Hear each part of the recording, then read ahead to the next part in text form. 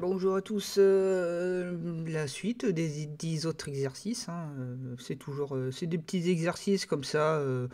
c'est pas dit que ça vous est super utile, mais c'est toujours sympa de le savoir.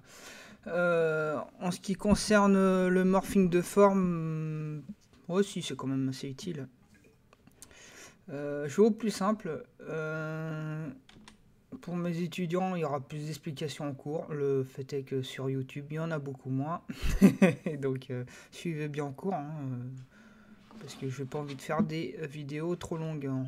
Euh, cercle ici vous demande de faire un morphing de forme. Pour faire un morphing de forme, je vais prendre l'outil loop. Loop, loop, loop. Loup-garou. Euh, hop, ici, pour faire un morphing de forme,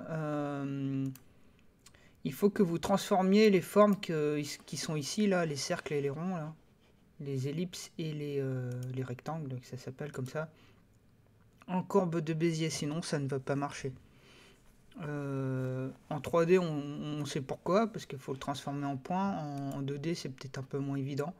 Parce qu'en fait, euh, on a ce qu'on appelle les primitifs, quoi, en gros.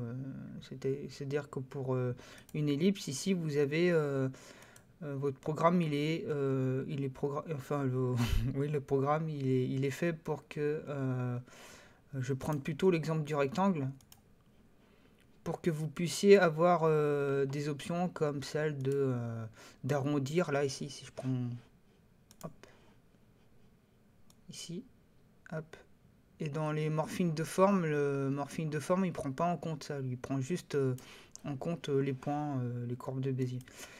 Euh, c'est un petit aparté assez important parce que les étudiants me posent tout le temps la question de ben, pourquoi en fait faut, faut transformer en courbe de Bézier. C'est juste pour que euh, les deux formes soient en fait euh, au même niveau quoi. Si vous avez si vous avez un, rond avec un rayon et ici un rectangle avec le hauteur largeur, ça va pas le faire. Donc il faut que faut, faut que ça résonne en point.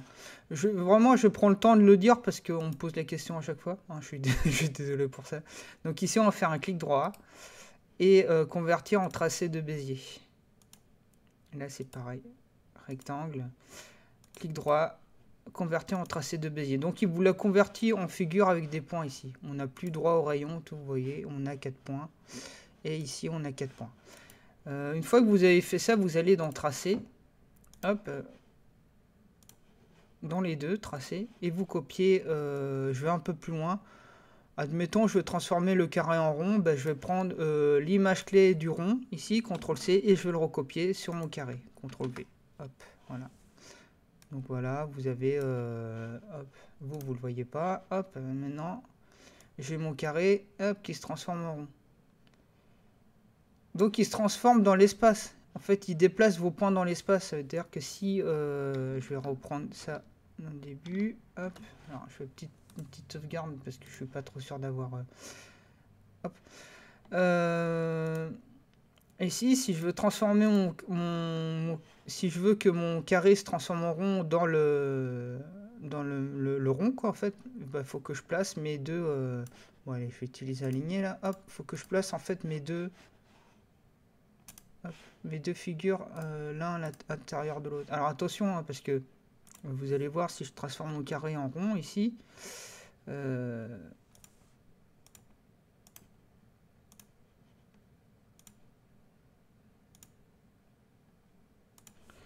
CTRL C, je vais un peu plus loin.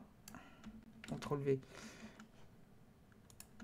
Bah, si vous voulez que ça se transforme, attention, hein, juste que ça n'a pas... euh, ah, c'est bizarre.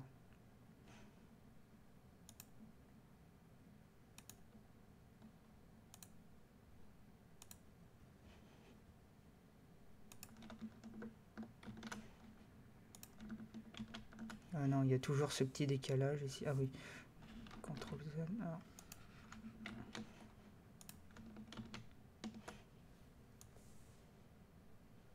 Ah, on a toujours ce petit décalage. Hop. Je vais le faire sur un autre. euh,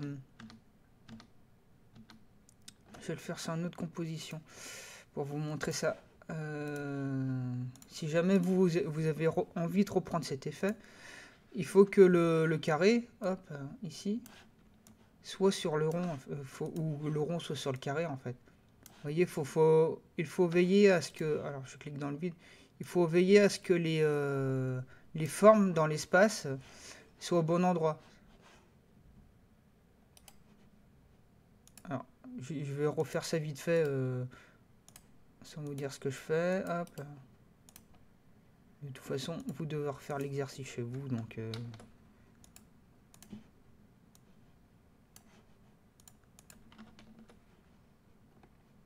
Donc vous voyez que mon carré, il est à l'emplacement du rond, donc ce qui fait que... Bah, tac, mon carré se transforme en rond. Donc il faut, il faut faire très attention à l'endroit où vous faites votre carré et votre rond, quoi. C'est... Euh, c'est très important. C'est même primordial. Euh, une petite référence très très obscure. Ici. Ici, euh, on, utilise en fait, on va faire un morphing, mais on utilise un, effet qui s'appelle l'effet remodelé. moi, je l'utilise jamais, mais chaque année, j'ai un étudiant qui se qui s'amuse à faire un truc dans le genre. Donc voilà. Euh, moi, je vais faire un truc simple, mais il faut savoir que c'est beaucoup plus compliqué que ce que je vais vous montrer. Alors ici, euh, vous avez un rond et une ellipse. Le rond et l'ellipse, euh, vous pouvez partir du principe que c'est des PNG. Quand vous avez des PNG, vous, vous avez la couche alpha. Donc ici, vous avez le rond. Vous allez chercher calque, tracé automatique. Vous pouvez augmenter le seuil. Là, ici, je l'ai mis à 100%. Plus vous augmentez le seuil et plus vous avez de points sur euh, votre masque. Vous voyez qu'il a créé un masque qui prend en compte le rond. Euh, ici, ça va être pareil. Tracé automatique. Et ici, hop, un masque va prendre en compte le rond. Euh, alors moi, je ferai la même chose, mais avec, avec des PNG. Hein. donc vous devez, vous devez prendre des PNG. Et donc on a transformé, on a deux masques sur chacun, euh, sur chacun des, calques, ici. Hop, si j'appuie sur M, M, vous voyez que j'ai des masques. Si je prends le masque de, l'ellipse, que je le reporte euh, sur le rond, hop, je les mets donc je peux masquer celui-là. Et le but du jeu, ça va être de transformer le rond en... Euh, en ellipse.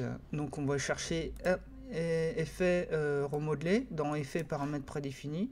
Remodeler. Là, ici. Et vous l'appliquez sur votre rond. Alors euh, pour appliquer un effet, vous avez deux manières, vous drag and dropper ou vous double-cliquez en sélectionnant le rond, bien sûr. Donc le masque 1, ça va être euh, bah, le masque 1, le masque 2, c'est le masque 2. Euh, bien vu l'aveugle. Si vous voulez rajouter plus de, de, de repères, alors,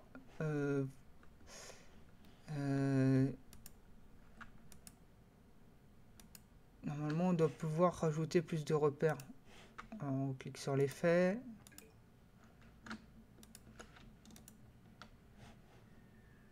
Attends, je, prends remodeler et on clique sur l'effet. Non, c'est pas ça. Euh, on peut rajouter plus d'effets. Non.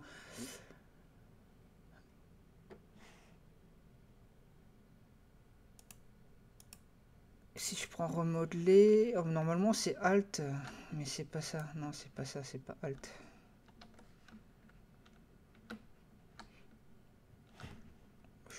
Passer en anglais.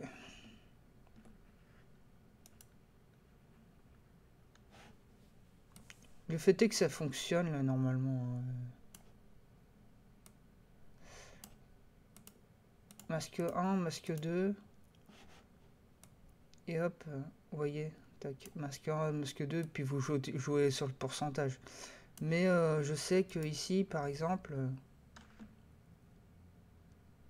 ajouter des points euh, de correspondance euh, avec euh, il manque un espace ici en, maintenant, en maintenant alt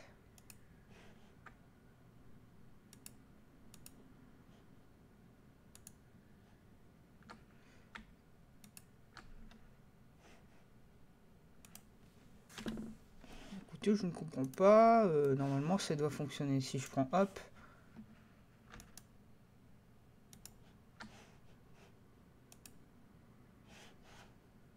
Ah oui, il faut peut-être choisir masque 1, masque 2 et ensuite euh, vous maintenez Alt et voilà. Hop. Euh, désolé, hein, moi j'utilise pas souvent, hein, c'est comme je vous dis. Donc vous resélectionnez le, votre effet et puis vous faites. Et vous avez plus de points de, correspondance. Là, je vais comme un bourrin. Après, c'est pareil, hein, vous rajoutez des images clés, hein, pas non plus... Euh, c'est pas non plus super compliqué. Ah, je vais enlever euh, tous ces masques. Ellipse, hop, et voilà, hop, enregistré. Euh, alors moi les exos ça sera des, des, euh, illustrations. Hein, euh, ici par exemple euh, pour l'exercice suivant le clignotement bah, quand on clignote c'est plutôt quand, bah, on, va, faire un feu qui passe du rouge au vert. Hein. donc on va influencer, ça peut marcher sur tout type de là où il y a des images clés, mais là où c'est c'est plus représentatif, représentatif c'est d'aller chercher dans clignotement ici. Euh, parce que ça s'appelle clignotement, alors autant que ça, clignote. Quoi. Vous allez chercher feu, vous pouvez faire euh, avec euh, la position, mais là on va faire, on va utiliser le, fond de couleur ici, ici fond de couleur. Vous regardez bien le déroulé, contenu, ellipse, fond, fond de couleur. Donc ici on a la valeur A et la valeur B. La valeur A ça va être rouge et puis la valeur B bah, ça va être le vert tout simplement. Et euh, une fois que vous avez fait ça, vous voyez qu'il passe automatiquement. Euh, vous voyez? C'est comme un feu de signalisation. Et vous pouvez augmenter la fréquence euh, si vous en avez envie. Vous voyez, là quand. Ça c'est des coups à rendre épileptique les gens. Hop. si vous si un, un, épileptique que vous aimez pas, vous pouvez vous pouvez faire ça. Euh, ou ne pas faire ça, parce que je n'ai pas envie d'avoir des problèmes, donc ne le faites pas. Ceci dit, euh, je pense à toi Jean-Pascal, euh, la prochaine fois tu passes chez moi, je, te fais faire, je, te, je te fais faire ça. donc, si vous connaissez un Jean-Pascal qui meurt entre temps, bah, je suis désolé. Hein. D'épilepsie bien sûr.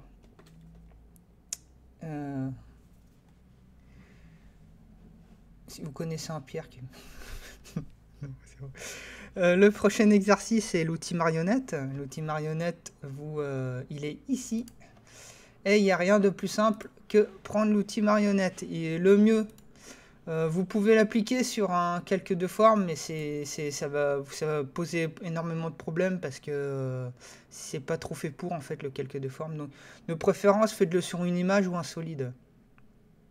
Et euh, pourquoi le calque de forme ça fonctionne pas? Parce que euh, ça fonctionne, hein, mais ça fonctionne pas bien. Euh, quand vous allez faire bouger, bah, il est contraint par la forme. Et la couleur va... en fait, je ne vais pas vous expliquer, c'est nul. Donc, juste sur les solides et les, images, Donc, on, en fait trois comme ça. Et après, on peut bouger comme de cette manière. Je n'ai pas mis de... Je pas mis comment faire parce que c'est quand même pas compliqué. Euh, c'est pas compliqué d'être heureux. Euh, L'esprit n'est plus à la mode. Bon, écoutez, hein, euh, il y a cette manière-là. ce que vous pouvez faire en supplément, parce que ça c'est bien aussi avec Dwick, c'est que vous mettez des outils marionnettes et je vous fais pas une imitation de Homer Simpson parce que c'est nul. Vous pouvez mettre des punaises. Donc euh, vous avez ici ajouté des os. Je suis un peu des. Donc pour ça, pour ajouter des os, vous appuyez sur U et vous avez des images clés suite au coin de marionnette et vous, euh, appuyez. Euh,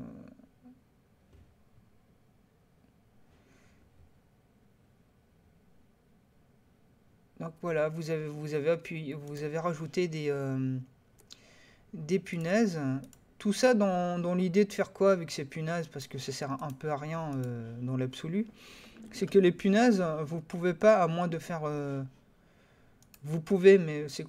Bon, il faut tirer les escargots. Bon, c'est compliqué. Tandis qu'ici, euh, si je veux relier en fait un coin ici avec un objet nul, par exemple, admettons, admettons. Bah, j'ai qu'à relier mon objet nul et hop, voilà, c'est fait. Voilà, voilà. Du coup, mon objet, hop, il peut bouger. Mon outil marionnette, il peut bouger avec un objet. Voilà. C'est juste pour ça. Dans l'autre cas où vous voulez pas utiliser ça, c'est un peu plus compliqué. Euh, c'est un niveau un peu plus avancé. C'est pas, pas impossible, hein, juste en tirant les escargots, mais euh, vous, vous perdrez pour rien. Mais vraiment pour rien, quoi. Donc ici, on a un outil, autant l'utiliser. Euh, mélanger, c'est mélanger, c'est assez simple. Hein. Là, je suis sorti du menu automation, mais c'est la seule fois où je sors du menu automation. Hein. Vous inquiétez pas, ça va bien se passer. Ne t'inquiète pas, ça va bien se passer. Euh, Lorenzo, euh, non mais c'est fini ça. Euh, Maître Yoda. Ici, on va utiliser l'outil mélanger. le mieux, bah, si vous, voulez appliquer sur un calque, mais ça sert un peu à rien. Ici, vous avez, vous voyez, vous avez ça qui bouge. J'ai mis des, images clés pour vous montrer ce que ça fait que l'outil mélanger. Suivant ce que vous avez à faire. Ici, euh, on va bouger en X. Vous pouvez bouger en Y. Là, ici, en X, par exemple. Si je coche instant, ici, on va décaler les instants. D'où l'intérêt d'avoir mis des images clés pour que vous compreniez bien. Hop, je fais U.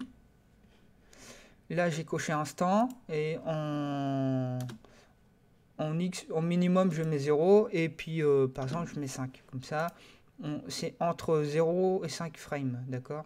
Donc ici, si je choisis mes trois calques et je fais mélanger, il faut bien sélectionner vos calques avant de faire ça. Hop, vous avez les instances qui bougent.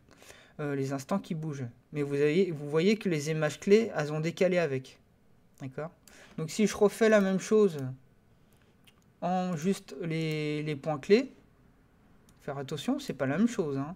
Les points clés, alors je décoche instant et je fais mélanger. Hop, Ici, euh, il, vous a, il vous a juste euh, décalé le début de vos calques. Hein. Donc, ce qui veut dire que, tac, les images clés sont au même endroit. Il faut bien faire attention à ça. Euh, si je décoche et que je fais index, par exemple, là, il va vous... je crois que ça ne va rien faire. Hein. Hop. Vous voyez que ça fait rien. Donc, il faut bouger en Y ici. Donc, on va faire entre 0 et 3. Parce que j'ai que 3 calques, ça sert à rien de mettre une valeur plus, plus élevée. Du coup, il a décalé mes calques ici. Vous voyez, il, il me les a mélangés, mes calques.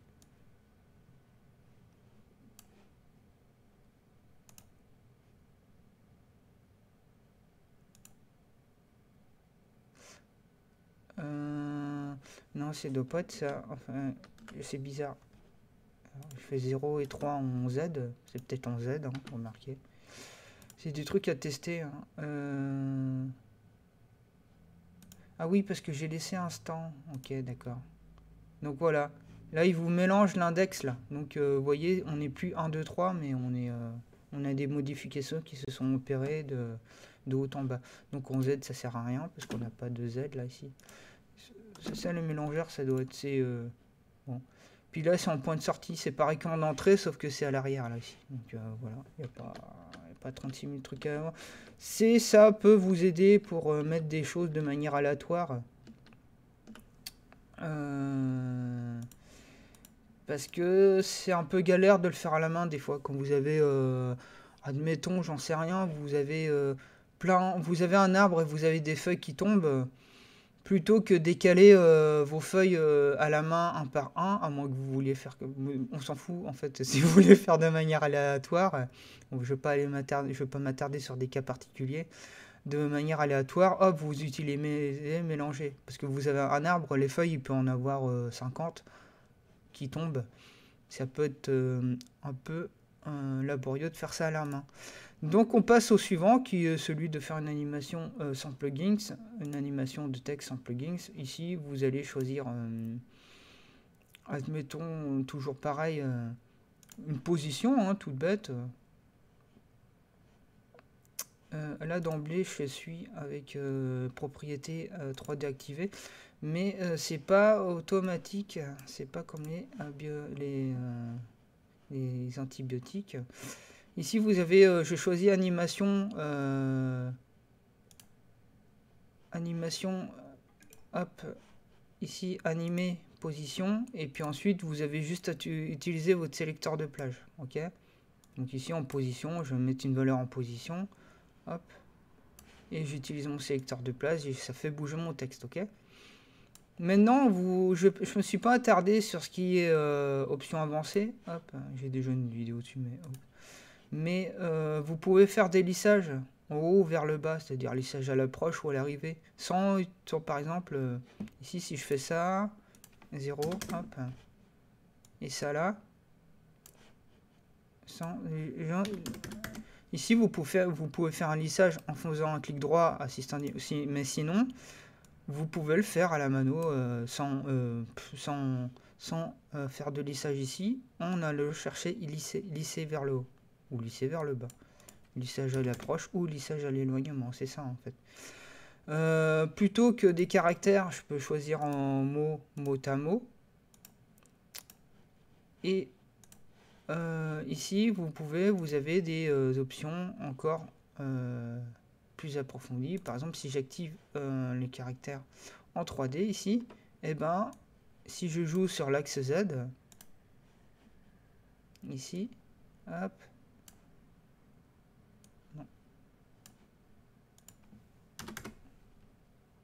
Z, il s'éloigne, il s'approche. Euh, euh, moins, moins 1000 par exemple, hop, et que je bouge mon sélecteur de plage, ben, j'ai déjà mis des images clés, ouais, Ça se voit pas nécessairement, mais euh, ça se rapproche, quoi.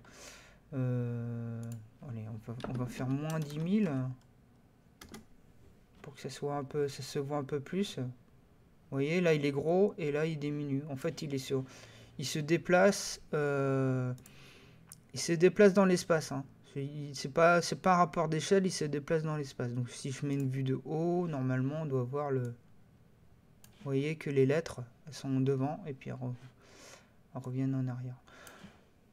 Toujours pareil, hein, ça dépend de ce que vous souhaitez faire en fait. Euh, voilà. Vous pouvez dupliquer, euh, vous pouvez mettre plusieurs animations. Euh, je l'ai déjà dit dans une autre vidéo, mais ça me sert pas, euh, ça sert pas nécessairement, non pas que ça me, pour la pure et simple raison qu'en fait ça, ben euh, faites le test chez vous, hein, regardez dans des vidéos à la télé, dans des vidéos YouTube, ben, les gens ils lisent mot à mot, ce qui fait que c'est pas un truc qui sert énormément. Juste pour des vidéos artistiques c'est bien, mais euh, pour des vidéos fonctionnelles, ça le fait un peu moins. Enfin, ça, ça c'est très peu utilisé. Même dans des génériques, hein, on verrait que ça, on, le voit très peu. Donc euh, ici, on a quoi? Ah, Du coup, on, euh, le chiffre, c'est hop, solide. Vous faites solide, ok. Et vous allez chercher ici nombre. Hop dans effet paramètres prédéfinis. C'est ce qui est marqué dans euh, nombre.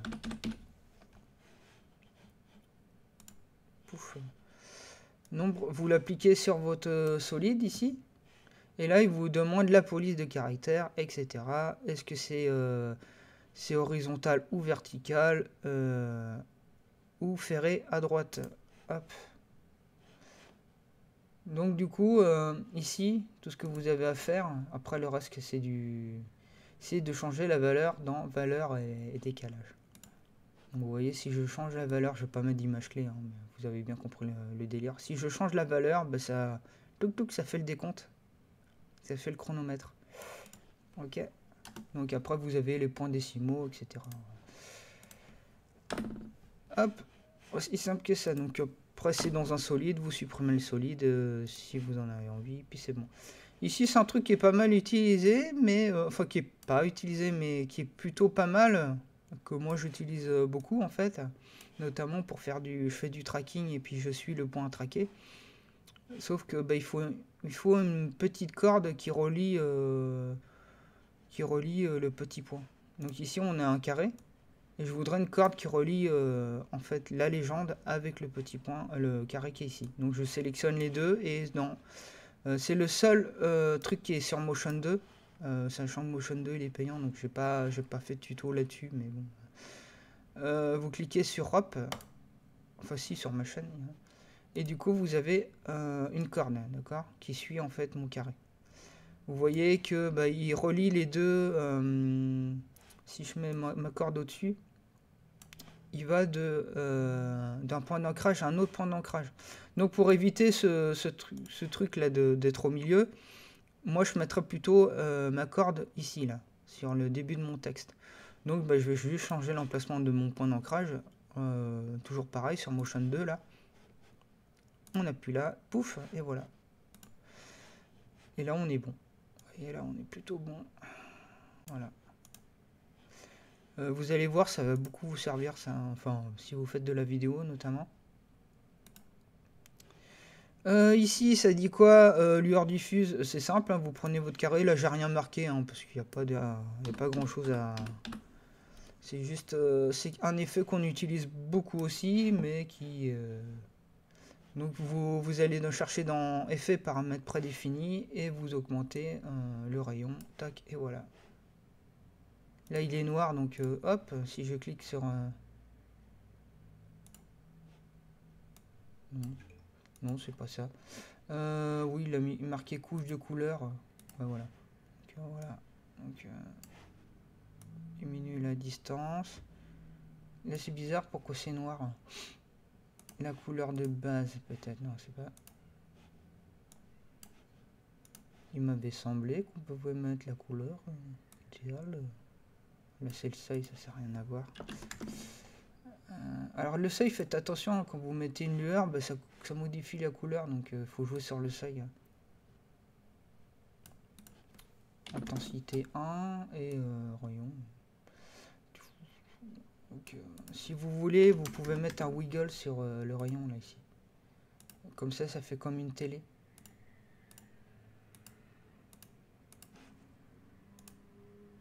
Alors je me suis trompé moi quand je vous ai appris le wiggle, je crois que le wiggle vous n'avez pas besoin de... Je vous avais dit ouais mettez une image clé mais il n'y a pas besoin en fait. Hop si j'ai wiggle c'est hop tremplement. Voilà. Et du coup en fait euh, hop ici 5, 10.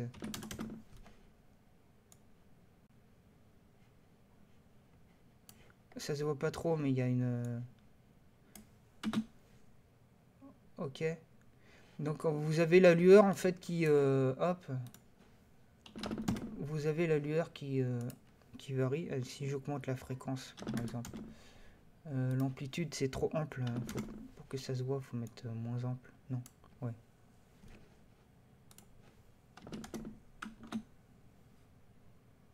Donc en fait ça scintille ici. C'est comme si c'était un écran de télé quoi en gros. Ok.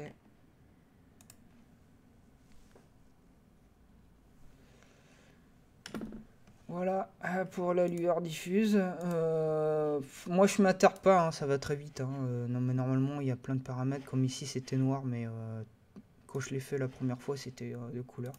Ici par exemple on a pouf, On a les ferrous. Alors les ferrous, fait, c'est pas juste, il va pas juste tourner vos roues, hein. il va, faire une espèce de lissage, c'est-à-dire qu'il va, quand vous, vous roulez à vélo, vos roues ils commencent tout doucement vous pédalez tout doucement et puis vous accélérez. Là, il va faire pareil. Donc ici, pour que les roues suivent la voiture, bah, il, faut, euh, il faut tirer les petits escargots ici. Hop. Vous tirez sur le calque de forme 1. Je vais, laisser le nom comme ça. Et euh, le calque de forme 1, oui, il y a une position. Sauf que vos roues ne tournent pas. Donc vous sélectionnez euh, vos deux roues et vous allez cliquer dans Dwick roue. Hop.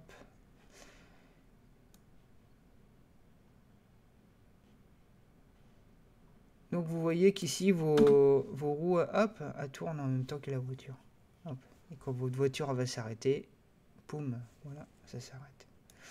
Aussi simple que ça. Donc euh, voilà, pour, faire une voiture, c'est très simple. Euh, donc voilà, je vais regarder si j'ai tout enlevé euh, au niveau de mes effets. Et, par exemple, ici on n'en veut pas chronomètre, euh, on n'a rien ici, ici c'est pareil. mélanger. Euh, ok. Hop, outil de marionnette. Il n'y a plus de marionnettes. Non, il y a encore les marionnettes. Ainsi font, font, font les petites marionnettes. Là, il n'y a plus d'effet clignotement. Remodeler, il n'y a pas. Alors, est-ce que j'ai mes masques? Euh, c'est moins évident que la semaine dernière. Hein. Euh, les trucs étaient plus simples, mais là, euh, c'est un peu moins évident. oscillation, c'est pareil. Hein. je pense pas qu'il y ait besoin de mettre, qu'il y ait besoin de mettre d'image clé. en tout cas, Wiggle, il n'y a pas besoin. Oscillation, je pense qu'il n'y a pas besoin non plus. ok, donc c'est tout. Euh, je suis peut-être pas clair et concis, mais euh, de toute façon, on verra ça en cours. Euh, pour ceux qui suivent sur YouTube, vous avez un Game mais est-ce que c'est nécessairement intéressant pour le commun des mortels? Pour ceux que j'ai pas encore. Pourquoi pas? Pour ceux qui suivent juste ma chaîne, je ne sais pas, on verra. laissez des commentaires. Donc voilà, fin de la vidéo. Allez, au revoir.